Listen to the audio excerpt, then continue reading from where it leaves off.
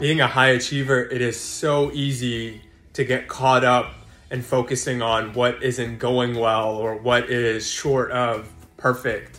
Um, but oftentimes, there are so many good things that are actually happening in our lives. And I was in a circle discussion with a bunch of other CEOs and presidents who are running their own organizations. And we got to a very personal topic. And uh, we were talking about this concept of feeling whole. Sometimes we're sprinting, but it feels like we're sprinting on a treadmill. And so we're not actually going anywhere and we started to unpack what does it look and feel like to really be whole how do we make peace with that for ourselves and so the question this week of what does being whole look and feel like was actually inspired from that uh, discussion that we were all having and i didn't have a better way to do this than to actually journal so i, I journal from time to time and i wrote this out in my journal and I'm gonna go super vulnerable here and share something that I don't regularly share with anyone, but uh, it's something I committed to. And so I wrote it out for me and I put being whole looks like going through every single day and feeling like I tended to my proverbial farm. Uh, so I have what I call a proverbial farm, and every single Monday at the start of the week, I always say I got to go and work that farm. Uh, one of my mentors actually shared that with me. But I put meaning I looked after my mind so I'm feeding it with knowledge. I'm someone who enjoys learning, and so I need to make sure that my mind is learning something. Uh, my body, so working out and making sure I'm eating well. My relationship with Cadesia, my wife, and so just making sure that there's some quality time put in there, um, whether it's that day or that week. Um, my work, so really moving our purpose forward, right? Thinking about the work that I do in education uh, my goals that I have. So every single day, I try and take, even if it's small, just an incremental step forward on those.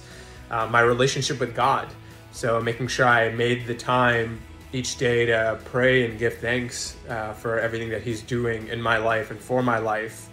Uh, being whole feels like I'm filled with gratitude, right? So I wanted to dig into the feelings there because that's what it looked like, but here's what it really felt like for me the feeling of being filled with gratitude, generosity, and kindness to myself and to others, having that come naturally, having love flowing to me and through me. And the things that have the potential to throw a wrench in my day, uh, they don't move me. I almost don't even give them any attention. I feel like I'm living in a movie or a dream and I don't want it to end. I am lacking nothing and desiring of nothing because I need and want everything that I need and want I already have or is being magnetized towards me. So I'm not putting in all this extra effort to get to it, it is coming. Um, and I closed with uh, I am whole. And I look and feel like I'm whole, and now I know what it looks and feels like on a daily basis to me. Uh, what it looks like and feels like to you is personal. What does that wholeness look like or feel like? But the concept of wholeness means that you're lacking nothing. And so, would encourage you to take the time to really reflect on that. It was really centering for me to know that these are the things that are important. And because I know these are the things that are important to make a good day or a good week, that these are the things that I need to continue to practice.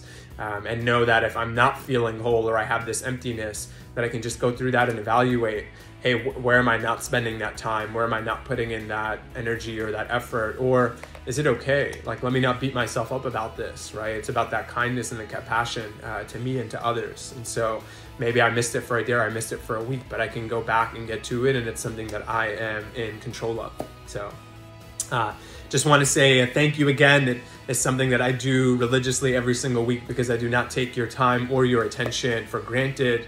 Um, we're now at almost 3,900 subscribers to the Learning Loop, and I just can't thank you all enough for continuing to engage and share with other people who are committed to accelerating their learning and continuing to move their education forward. So go out there and get after it.